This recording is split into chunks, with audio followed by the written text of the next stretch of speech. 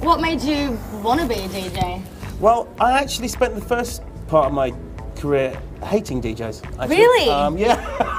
Is that because you hated any of the piano no, and everything uh, no, else? I just, I, I, I, I'm, I was, you know, I'm predominantly a, a writer, producer, Yes. and uh, these. We had a strange thing in the early part of, of, of dance culture where. A, a DJ would get paid more for playing the record than the guy would Make it. get to make it. And Yeah. It's a bit like the tail. That's not okay. we call that the tail wagging the dog, Mm-hmm. uh, and that kind of used to frustrate me a little bit. and Uh, you were like, I can do all of this. yeah, Christ! uh, If you can't beat them, join, Join them. it. I like that. I live by that.